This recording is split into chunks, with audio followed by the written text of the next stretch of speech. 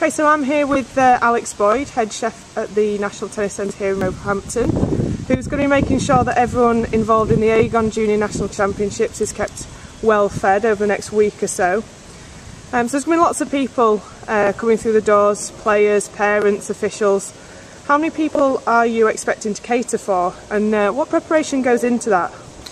Uh, over the course of the week, uh, we're looking to cater for over 500 people on a daily basis. Um, that's breakfast, lunch, and dinner, um, having food available all day. The, the preparation, everything's made fresh on the premises to make sure that we've got control of, of what goes into the food that we're catering here. Um, there's uh, a great team of chefs in the kitchen who are looking after all the essential needs to to cook the food that is required for the um, for the players.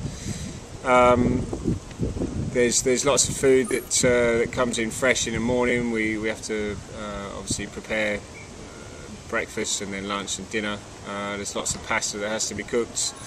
Uh, lots of you know lots of sauces that need to be made for the pastas and and, uh, and that sort of thing. So there's there's a lot of food to be to be got ready. Mm. So how do you go about designing um, the menus for the week? Uh, the menus are designed by all the chefs in the in the kitchen. We we sit down uh, on a daily basis and, and, write the menu for that day the following week. So we're working a week ahead of ourselves.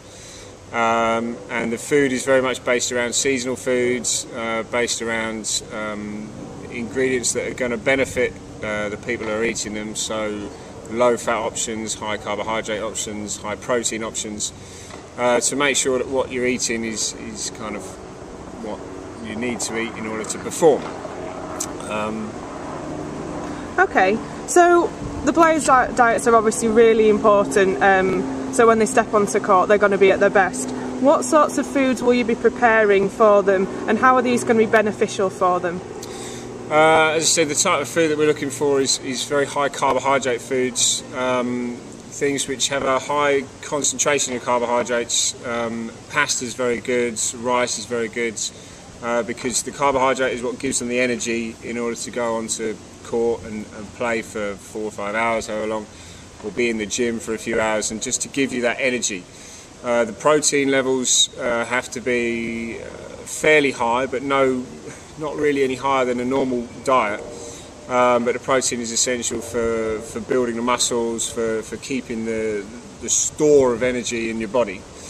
Uh, and then low fat, looking at fats are essential, but you don't want to have too many of them. So, on a, on a percentage wise, they're looking to eat probably 60 to 70% carbohydrates, 20 to 30% protein, uh, and no more than 10% fat.